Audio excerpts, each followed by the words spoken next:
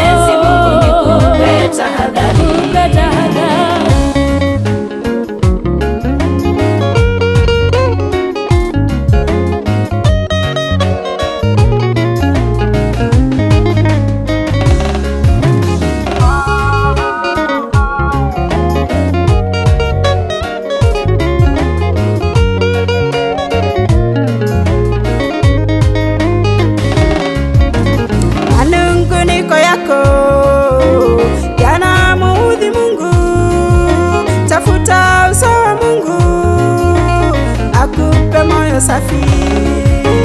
maana Mungu niko yako